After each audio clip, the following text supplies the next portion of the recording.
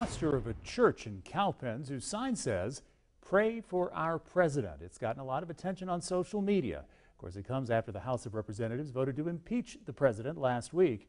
7 News reporter Scotty Kay standing by live at that church with why the pastor put that particular message on display. Scotty. Gordon, Pastor Griffith here at Mountain View Baptist Church says his entire congregation was 100% on board when he decided to put Pray for Our President on the sign behind me, saying they're not afraid to speak out about what they believe in.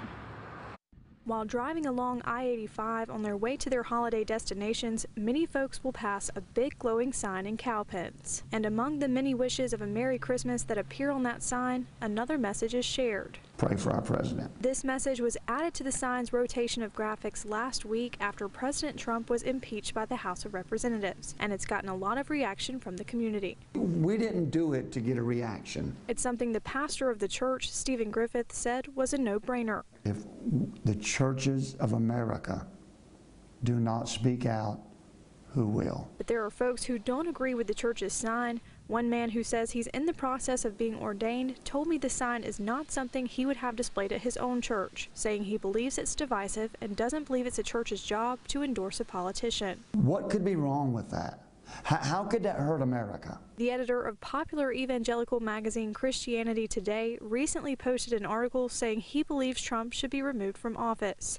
Griffith says he's aware of those not in favor of Trump or of his church's sign, but he says it doesn't bother him. We're willing to take it. We, we're, we're, not, we're not worried about it. We support the things that we feel like are positive for this nation. Griffith says he believes prayers for the president are always needed, regardless of who's in office, and says it's his Christian duty to do so.